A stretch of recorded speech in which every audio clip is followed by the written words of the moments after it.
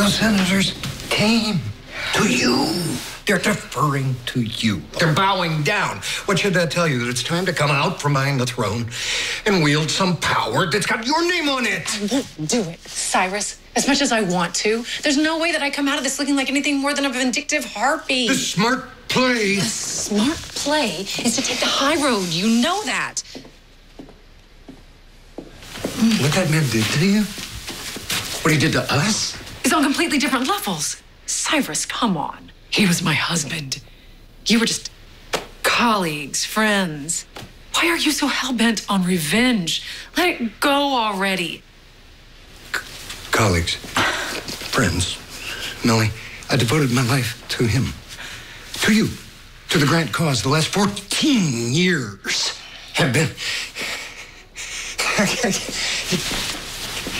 he kicked me in the teeth and didn't even look back, and I'm supposed to just let it go? I guess that's the difference between me and you, Cy. When my heart is broken, I can get up and dust myself off and walk away with some dignity. Dignity's a good visual. That's that's what you think the difference is between you and me? No, no. The difference between you and me is that your heart was never broken because you never loved him. You needed him, used him, coexisted with him, but you did not love him. I would have died for that man. I loved him as my son, as my child, as my soul. That does not end. That never ends. It just rips a hole inside of you that never closes. Your child is dead.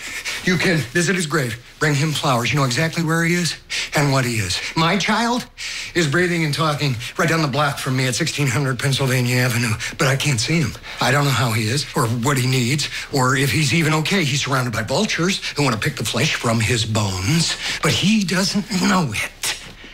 And I do.